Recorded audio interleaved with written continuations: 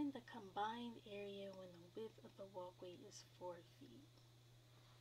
I don't even know what I'm reading. When you're given a word problem, are you left wondering, where do I even start? If so, you're in the right place because I'm about to give you a framework to help you ditch the fear of word problems and start solving like a champ. I'm Latrell Jackson, math coach at KOG Math Success Academy, and I use these same tips I'm sharing today with my students. They despise word problems too, which is why I'm creating the Word Problems Wednesday series to help you get more comfortable with the three steps I'm going to share with you today on solving word problems. So make sure you hit the subscribe button and the bell next to it so you'll be notified when I upload a new video.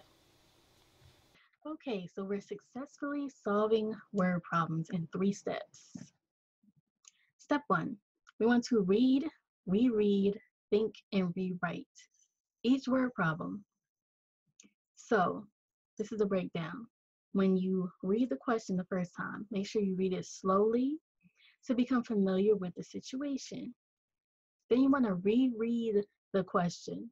Read the question again slowly and point out specific details that may be needed for answering the question. I know when I read something the first time, I got to read it again because it may not register. I may not even know what I just read. So rereading it again is something that I apply to myself. Next up is think. Let the scenario in the question play out in your mind. See yourself in the person's position, if there's a person in the word problem. Make sure you're living it out with all your senses. Can you put yourself right in the middle of it and look around you? Make sure you're looking out your peripherals and what do you hear and see and taste and smell. That helps you that helps the problem to come alive to you. Make the problem your problem. So whatever the situation is that the person is dealing with in the problem, that's your problem. Then you're going to rewrite the whole problem. After visualizing the scenario from your own mind's eye, you're going to do these four things, okay? You're going to rewrite the question in your own words. That's important because that contributes to it becoming your own problem. Then you're going to temporarily replace the numbers with blank spaces. So as you see the problem, the word problem here has blank spaces because that's where numbers used to be. I want you to really focus on what the situation is instead of trying to jump to doing the math first because that can get you confused on what to do because you haven't gotten all the information yet. So blank spaces um, in place of numbers until you realize what's going on and then you can replace the numbers. So the fourth thing you're going to do when you're rewriting is to draw a picture or diagram. Okay, so um, whatever you rewrote, when you rewrote it in your own words, you were trying to visualize and put yourself in the position of the person or the situation in the word problem, it'd be good to draw you a picture of what you see in your mind. And in this uh, image here, you'll see um, a problem that says uh, Masumi has three different colored tops and she has two different colored skirts.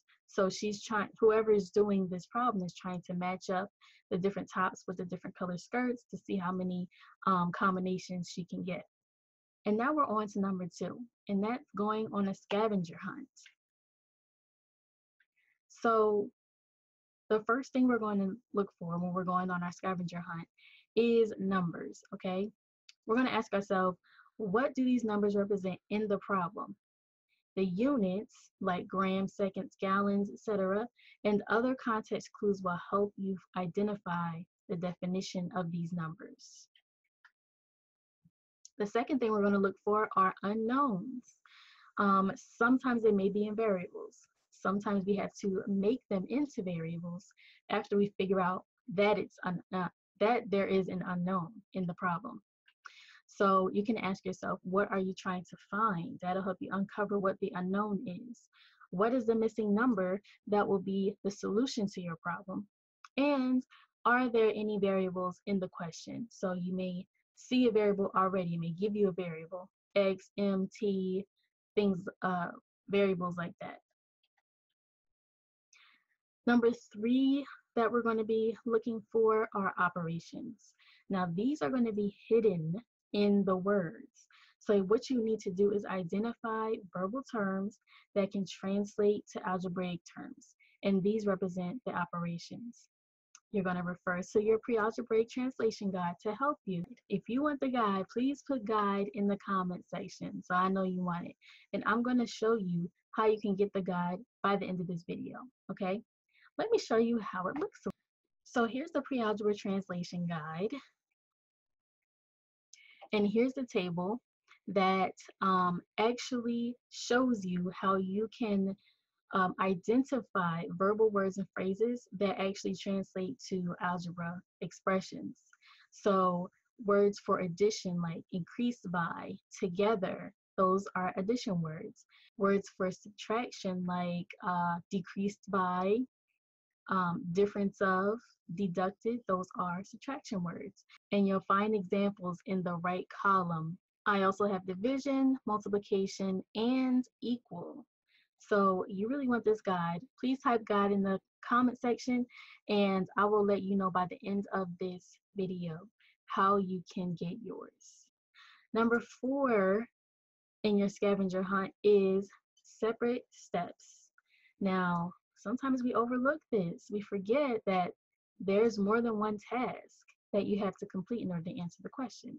So ask yourself, does the word problem require you to perform more than one task before you are able to fully answer the question? Then you need to write a quick summary, just a few words of each task. What is it that you need to do? Listing them in order so that you don't forget a step, okay? So if it says, um, Allison's bank account decreased by $5. That is subtraction, right? So that's one of the steps. And you can you can just say decreased by $5 subtraction. And that can be your little summary. Now we're on to the third step, solve with strategy and purpose. The first thing we want to do is pick the appropriate strategy to use for solving. So that could be a specific formula. Maybe you need to use the quadratic formula, or maybe you need a process like um, solving for y or solving for x. Um, maybe you need to apply a certain rule, the Pythagorean theorem or something like that, in order to um, complete the process of solving this word problem. You're going to double check to make sure you've actually answered all of the questions in the problem.